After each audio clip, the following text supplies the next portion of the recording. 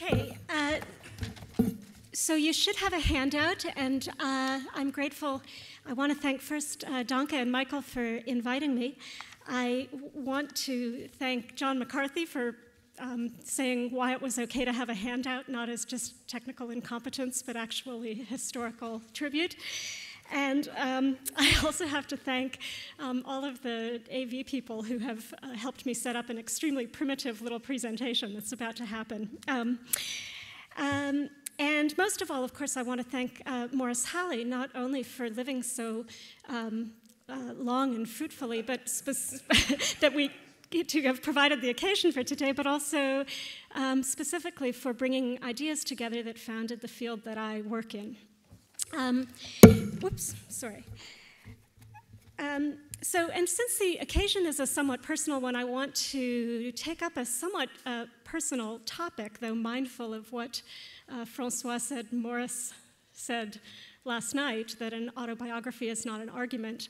Um, um, the topic is English anapests, and uh, they raise a question that I proposed to write my dissertation on that I felt that I never um, solved there. I answered a different question instead. And um, uh, what I want to do here is to revisit that question. Um, and I should, um, okay, so to start, to the, by anapests I mean uh, the rising triple meter with uh, stress on every third syllable that you see in um, example one on your handout from a famous poem by Byron, uh, which figures from the get go in Fabb and Halle's um, Meter in Poetry, A New Theory. Uh, the Assyrian came down like the wolf on the fold, and his cohorts were gleaming in purple and gold, and the sheen of their spears was like stars on the sea when the blue ray- wave rolls nightly on deep Galilee and so on. I've been unable to restrain myself from giving full poems on the handout, but I won't read them all. Um, so, the question that anapests raise for meter is roughly why they should exist at all. Um, although that question is really an artifact of theoretical assumptions about both phonology and the relationship between phonology and poetry. Um, it's generally assumed in uh, metrics within the tradition whose lineage is being celebrated here that meter is grounded in phonological uh, competence. And, um, but depending on your assumptions about phonology, it may or may not make triple rhythms available as some kind of a, a primitive. Um, and um, the deeper question that Anapests raise is really um, why that question should be so theoretically vexing when triple meters, sorry, triple rhythms occur very freely in music and in dance and in other domains of rhythmic experience. So, um, um, what I that is what I want to do is actually um, uh, revisit them from a perspective um, that brings those ideas from the psychology of rhythm in a little bit. Um, so I'll begin by just unpacking the questions that anapaests raise um, a little bit more thoroughly. When I was in the ninth inning of my PhD in linguistics and still without a really good topic to work on, because um, I wasn't that interested in all of the things in syntax and pragmatics that seemed like the kind of natural place for a combination of literature and, and linguistics. Paul Kiparsky taught a course on meter, and it's the only course that I have a sort of photographic image of the syllabus for because it started with something that said two classics, and it was Jespersen's Notes on Meter and um, uh, and Keyser's 1966 Chaucer in the Study of Prosody. And that, of course, laid out the assumption that uh, meter was knowledge of the same basic type as uh, knowledge of a grammar. And uh, Paul wrote an article in the same year as that course um, which really made quite explicit the, assum- the assumption that, um, on the one hand, uh, that, that, generalized the relevant ideas to poetic forms in general, taking Jakobson's idea that poetic forms involve iteration of structures and um, putting that together with the idea that uh, what structures were linguistically available were given by universal grammar to have a specific theory of poetic forms as iterating structures given by universal grammar. And in that year, in 1987, triple meters provided, raised a prima facie exception to that because um, the triple, the entry on your handout in two is just the very standard um, typology of traditional English meters that has classifies them as rising or falling in duple or triple. Um, but at that moment in phonology, the pr primitive status of um, any kinds of ternary structures was being um, questioned, um, and I won't go through that uh, here particularly. Uh, there was Hayes's dissertation that showed that it was an unnecessary assumption for English to have iterating ternary uh, feet. And um, the basic insight still remains in many uh, theories of phonology with things like foot binarity as a basic um, structure. And um, the outstanding exception remains, which is a little bit parallel to the um, poetic example I'll talk about, is, is Cayuvava, which just sat there as a reproach to a completely thorough rejection of the um, possibility of primitive uh, ternary structures. Uh, so it's a problem that didn't quite go away in, in linguistics. Um, at the same time, there was evidence for the binary structure of anapests themselves in English. Um, uh, Paul's article in 1975 had already pointed um, out that you could have in anapests like in four, uh, lexical stress in the first but not the second of the two weak syllables in an anapestic foot. So you had lines like, Oh, say, can you see by the dawn's early light, where early is the weak part, light is the strong part, but you couldn't have had immense in that position. So um, his 1977 article uh, posited the basic form in 4b for the anapest um, of having a, it's a binary foot, a weak position and a strong position, but the weak position is split into a strong element and a weak element. And that meant that that terminal weak, it was the only one that rejected a syllable that was stressed relative to another one in the same word. So, two rules govern stress in, or the, the, basic picture of anapests then is that that's the template, they require a syllable in each position. The strong, the, the, the unsubordinated strong position must have a stress syllable in it, and that little weak, subordinate weak position can't have a lexical stress in it. Uh, this lexical stress of a polysyllabic word. Um, so that's the basic um, picture of anapests. And I just should say that that generalization about what the weak position can't contain is the same weak uh, the same generalization that governs stress throughout the entire iambic uh, tradition in English. It's a prohibition on a syllable which is strong relative to another one in the same lexical word being in the weak position. And that's just what the examples uh, D through E are showing. Okay, um, so, and I just want to confirm this um, the strength of the, all of these generalizations have just stood the test for time. Decades of reading English poetry have unearthed only one significant counterexample to um, that generalization in 4a, and that is in 5 from the great poet of anapests in English, Dr. Seuss. Um, it's from Horton Hatches the Egg. And um, I'll just read this one. Um, and she swooped from the clouds through an open tent door. Oh, if you know the story, I'm sorry, is Mayzie the lazy bird has um, uh, got an egg and she's bored sitting on her egg, so she talks Horton the elephant into sitting on her egg for her while she flies off to vacation in Palm Beach. And um, Horton endures all kinds of trials and tribulations through which he says, I, I said what I meant and I meant what I said, and Elephant's faithful 100%. And finally, he arrives with a circus that he's been captured into, into Palm Beach. And um, in the shock of the confrontation, the egg hatches, and that's the passage. Uh, the she here is Mayzie, and she swooped from the clouds through an open front door. Good gracious, gasped Mayzie, I've seen you before. Poor Horton looked up with his face white as chalk. He started to speak, but before he could talk, there rang out the noisiest, ear splitting squeaks from the egg that he'd sat on for 51 weeks. A thumping, a bumping, a wild, alive scratching. My egg, shouted Horton, my egg, while it, why, it's hatching. But it's mine, screamed the bird when she heard the egg crack. The work was all done. Now she wanted it back. It's my egg, she sputtered. You stole it from me. Get off of my nest and get out of my tree.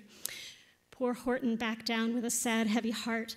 But at that very instant, the egg burst apart, and out of the pieces of red and white shell from the egg that he'd sat on so long and so well, Horton the elephant saw something whiz. It had ears and a tail and a trunk just like his. So that's the illustration I couldn't resist showing you, and the relevant line is the position of the word alive in 5b, a thumping, a bumping, a wild, alive scratching, which is contrary to the generalization, but it's a beautiful example of the meter being used to, um, in, to express the contrary to nature phenomenon of the elephant bird. Okay, so the point is just that the empirical generalizations about anapests um, have held up very well, and they were theorized by Prince, as shown in um, six, um, with the idea that what that pattern arises from is the idea of splitting a beat within the meter so that there is always a uh, and, and, he claims that as in music, when you split a beat and it has an internal trochaic structure, that explains why you get triple feet in poetry of the structures shown in six, um, but not other, not ones in which the beat would be ever split with an iambic subpart. Okay, so um, so that's kind of what was known at that um, point where I started working on the question of how do we reconcile the existence of these uh, anapests in English poetry with the um, problem of their exclusion from phonological theory, which was not an undebated point.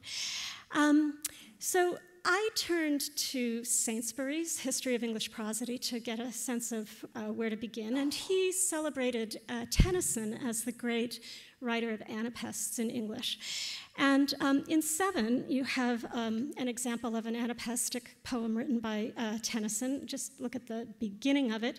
Thou land of the lily, thy gay flowers are blooming in joy on thine hills, but they bloom not for me. For a dark gulf of woe, all my fond hopes entombing, had rolled its black wave twixt this lone heart and thee. And it goes on. Now, um, this poem, however, is not really, um, it's, it's, it's not what Saintsbury had in mind. Uh, when he talked about Tennyson's splendid anapests. It comes from a collection of about um, seven or eight anapestic poems that were written in uh, Tennyson's first book, Poems by Two Brothers, written between when he was 14 and 17, um, together with his older brother. They, it was kind of his juvenilia, and he insisted that he didn't want it ever published again. Um, the poems that um, Saintsbury had in mind are represented more in eight on your handout. Um, and they, what they have as a characteristic is that they mix binary and ternary rhythms um, in, in in a, in a way which is actually the way the English language does. So, um, just a little bit of it this poem, The Voyage of Maeldune, and we came to the silent isle that we never had touched at before, where a silent ocean always broke on a silent shore. And the brooks glittered on in the light without sound, and the long waterfall poured in a thunderless plunge to the base of the mountain wall, and it goes on. So, um, just the, the quick um, uh, fact about this is that um, the variable syllable count that it shows is really um, the crucial thing here. It had a pattern of either one or two unstressed syllables in a weak position. Um, it um, could have a single monosyllabic word stressed or not, and crucially, as in B, it could have a, um, a word, a disyllabic word with the stress pattern that Prince and Kiparsky had noticed before, like glittered um, or water in that the weak half of the anapest. Um, but the initial syllable always had to be short, so it had an, a role for syllable quantity was built right into the structure of the anapest here. And um, this contrasted with the fact that in the true anapaests, there was no such role for syllable quantity whatsoever. There is in 10a, you have these lines like in the tall waving pines of my own native wildwood with um, stressed with uh, heavy syllables, and or 10b for a dark gulf of woe, all my fond hopes entombing. Those kinds of um, uh, weak positions with a monosyllable and more stuff they don't occur in the meters that mix binary and ternary rhythms. So um, this, the, the, that led, allowed an, an, analysis in which what was actually being repeated in the anapests with variable syllable count was um, basically a version of the moraic trochee that had been proposed. And so it allowed the anapests with variable syllable count to be understood as having a uh, a structure of the kind that Kiparsky's theory expected of being based on iteration of a linguistic um, element. And um, just very quickly, that analysis was able to be extended by, um, by Paul and I to a contrast with iambic meters. Um, uh, the iambic meter in 11 is what we've sort of seen this morning of having a strict syllable count. Uh, there lies a veil in Ida lovelier, just um, alternating um, a single syllable in each of the weak and strong positions. Um, but also crucially um, related in 12 to iambic meter with a very, uh, I'm sorry, in 11, I meant to say, is an iambic meter with a variable syllable count. So if you just go down to the middle of that passage and see uh, the lawns and meadow ledges midway down hang rich in flowers, and far below them rolls the long brook falling through the cloven ravine in cataract after cataract to the sea. It has the same quantity sensitive um, availability of a little triple rhythm within the binary, um, basically binary verse. So um, this allowed um, uh, Paul and I to kind of recast the um, typology of English meters as in 13, um, although you'll see I've actually borrowed the terminology of Fabb and Halle using the terms loose and strict anapaests, which I think is, is better terms, um, that a poem like Tennyson's Ulysses, it just has a single syllable in every position. Um, uh, Oenone, where the cataract line came from, is loose with variable syllable count. The Voyage of Maeldune, the so called anapestic poem, is loose with variable syllable count. But all th three of those actually share a binary template. So this left, and this is in a way where I need to start, this left the problem of the true anapestic poems um, sort of unsolved um, in the sense that it was possible to describe the constraints on it in linguistic terms, but the template itself, uh, this sort of ternary template composed of binary parts, was really something that did not seem to um, arise as a basic structure in language. So that problem simply um, remained a bit like Cayuvava. It just was not a problem going away. So, um, the basic um, first thing I want to do, though I know time is running short, the first thing I want to do is, um, right, is just situate this a little bit in English metrical history. So I said that the true Anapestic poems in, in Tennyson were his juvenilia, and he repudiated them, not wanting them published again. Um, but it turns out that they had a very specific lineage that I found interesting. There are basically no anapestic poems that I have found in English um, basically through the first half of the 17th century. They just don't, ex don't exist. The place where they start coming in is when uh, poets start collaborating with musicians. So I've given just in 15 on your handout is one of um, John Dryden's early poems, um, 1687, from a song for St. Cecilia's Day, which has um, this little passage the trumpet's now loud clangor excites us to arms with shrill notes of anger and mortal alarms. And a beautiful little line, the double, double, double beat of the thundering drum, which um, really can't be assimilated to a poetic structure at all. It's intended to actually be lyrics to, for, for music. So, so these um, become uh, popular actually in the 18th century um, as texts written in a way to instruct uh, composers to compose a triple rhythm. So, um, uh, triple rhythms in music, of course, existed from the get go, but the lyrics for them in English were written with a binary structure.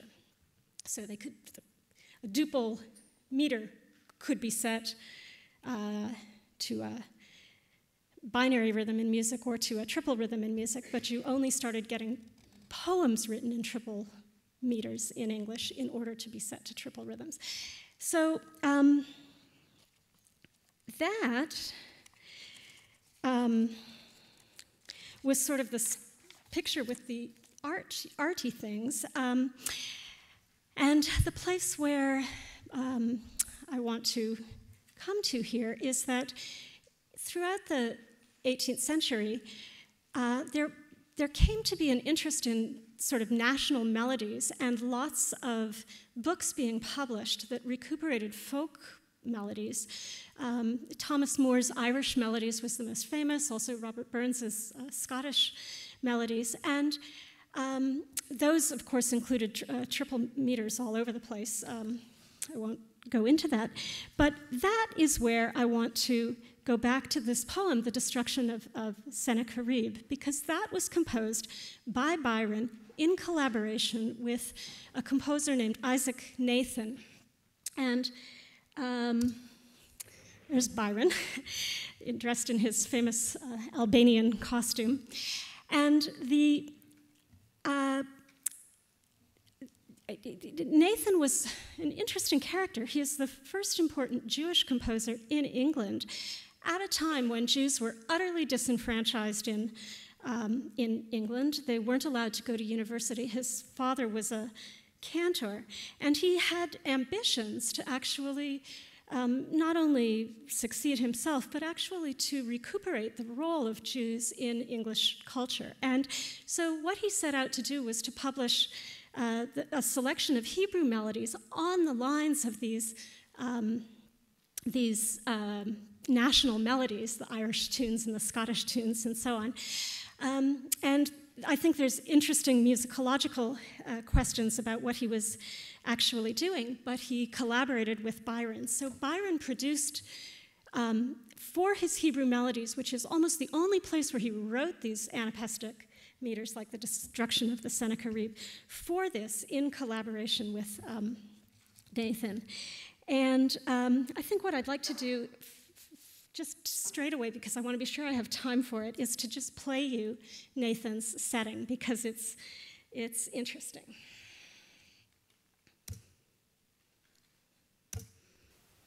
You'll see it in,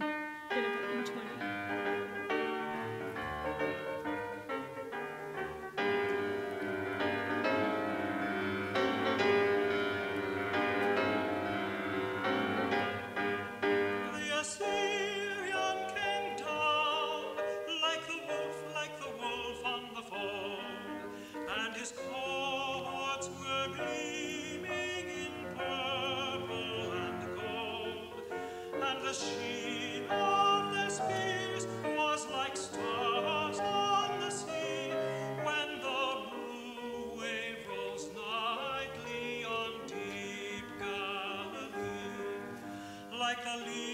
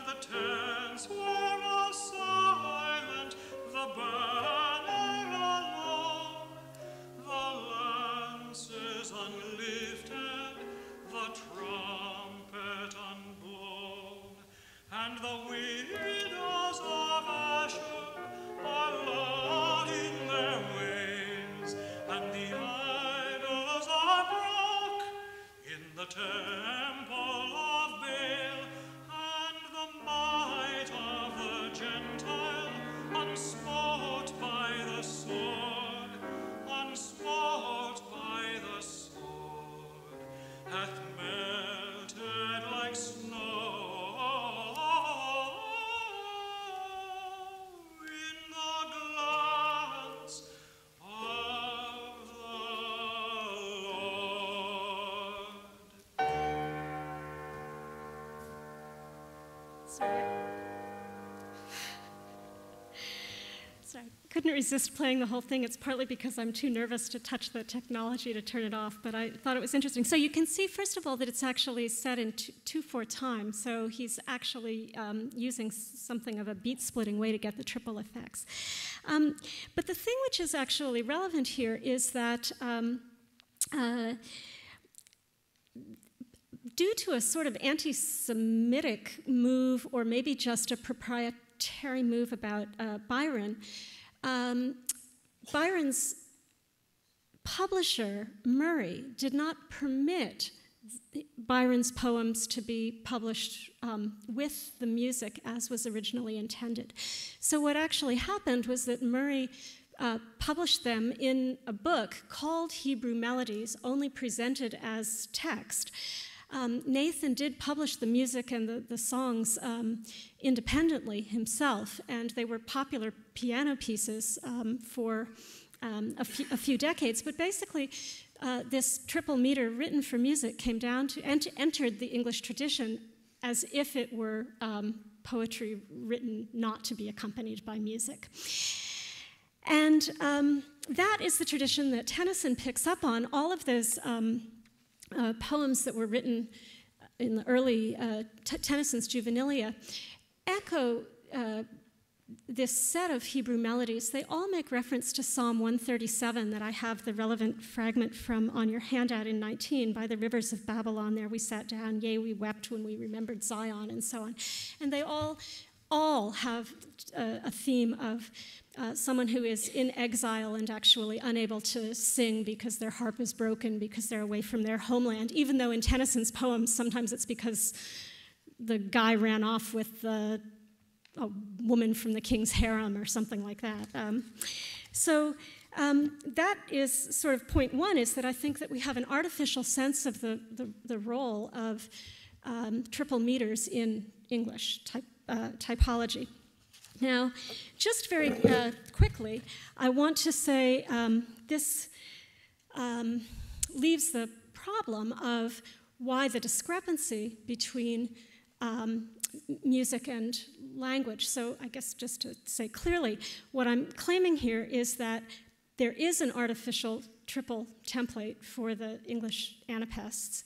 Um, and um, that is different from what is generally claimed about music, where triple rhythms in music are just easy as you please from the um, get go. Somewhere here, I put uh, the definition of lapse that you find in uh, Lerdahl and Jackendoff. It's actually back in 14, that um, at every metrical level, strong beats are spaced either two or three beats apart.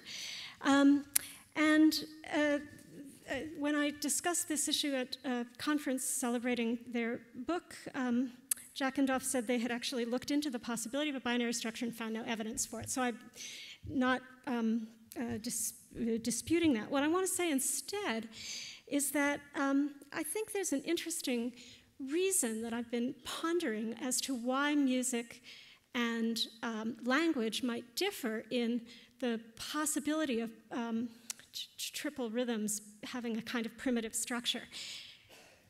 The reason I was interested in this topic uh, in the very first place is that um, there's all of this agonizing about the issue in linguistics, but of course, in, in dance, a waltz is the simplest, most natural rhythm that you could ask for. And um, every dance that includes a waltz in the tradition of music that might be played from uh, Lubeck to Lubbock, if it has a waltz in it, it will end with a waltz as the simple time when you return to your partner and just relax.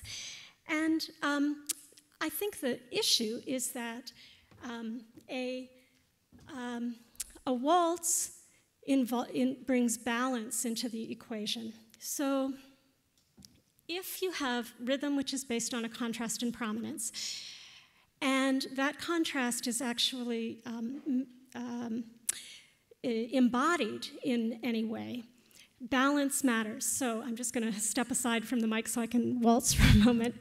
Uh, so if you were just doing a binary rhythm and it was right, left, right, left, right, left, it just gets unbalanced pretty fast. And so what a waltz does is it's going to be um, right, left, right, right, left, right, left.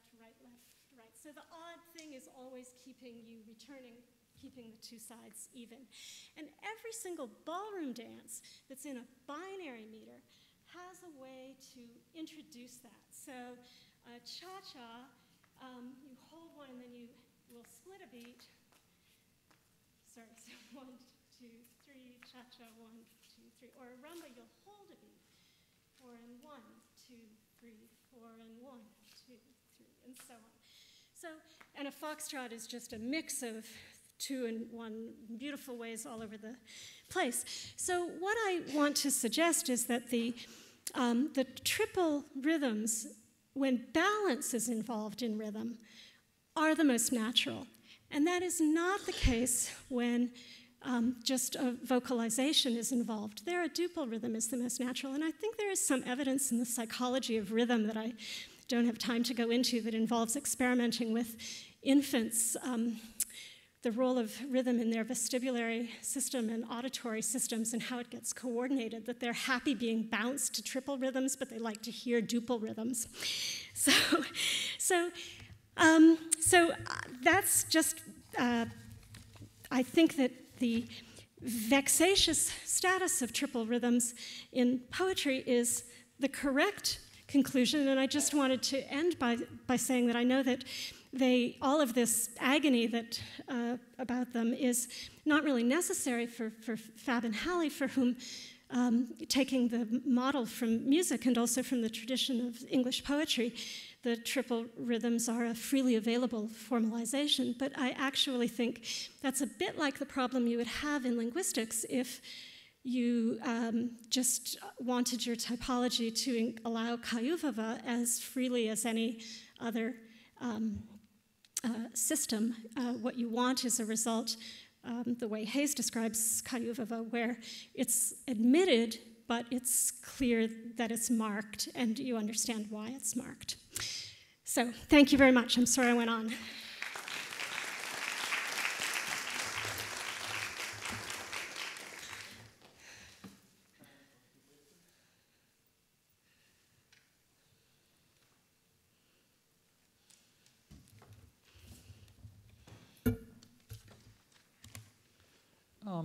This, uh, the, the way you were talking about the triple meters at the end sort of resonates with uh, a line that Lerdahl has been pushing lately that poetic meters are really musical meters.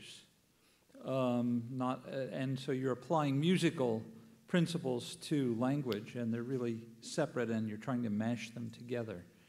Um, and that might account for the presence of triple meters in poetry when they're not present in language that much. I think that it's uh, true um, to some extent. What I think is interesting is that there's a huge uh, domain of overlap, but there are also fine points of difference. And so I think, um, for example, I think uh, there are subtle differences in the way syllable quantity is implemented in language that are not really the same that you would get in terms of, say, you know, an even split in, in the timing of music and so on. And so the, the triple rhythms, I think, are just an interesting domain where there is significant overlap, but on the other hand, you see the places where the two systems really are different. And poet, the poetic forms that flourish as poetic forms in their own right really draw on aspects of linguistic structure that, in some ways, differentiate them from music. So I mostly agree with Lerdahl, but I also think there are these small points of difference which are the interest, uh, particularly interesting.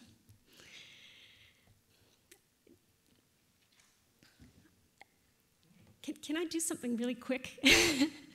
I had just, I, I, if I have one moment, I had wanted to um, just say, since I'd said that everything ended with a waltz, I am just dying to play um, Isaac Nathan's setting of Byron's most famous lyric, She Walks in Beauty Like the Night, which is a duple poem set to a triple rhythm. So if I can be indulged, I'd love to just end with a, since I said a dance should end with a waltz, I'd like this today to end with a waltz.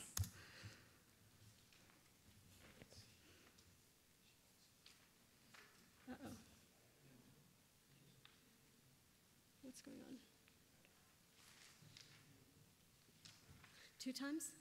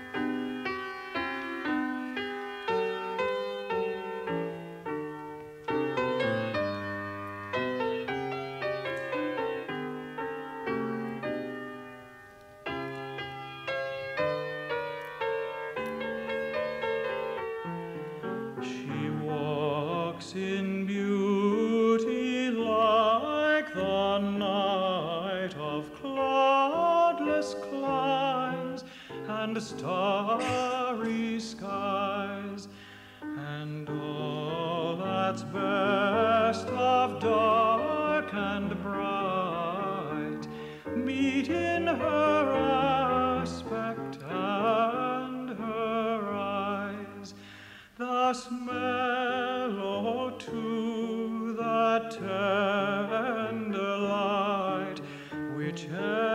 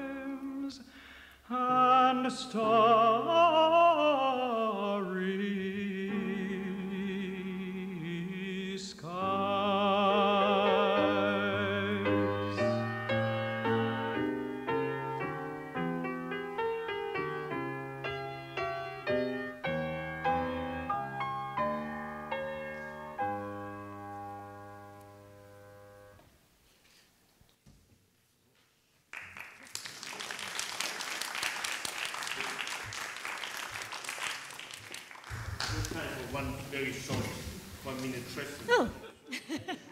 oh, he had a question. I'm sorry. I was. Sir.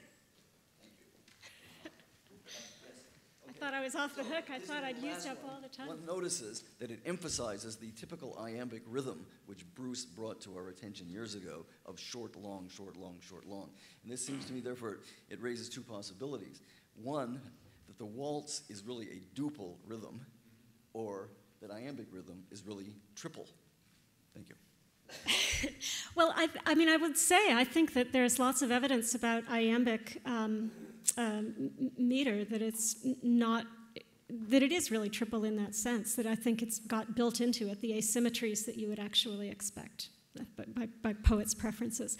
The waltz being duple, I am actually less sure about. That was, in some sense, the the point of debate at that uh, conference, and. Um, I know my dance teacher thinks the answer to that is yes, that there's things you would, that there are asymmetries in what you would do in the um, uh, underlying structure there, but you found there was no difference. And I think it comes back to the question of what, what is the body needing to do, and that the abstractness is not, um, that the abstract approach is not the um, be all and end all of shaping that question.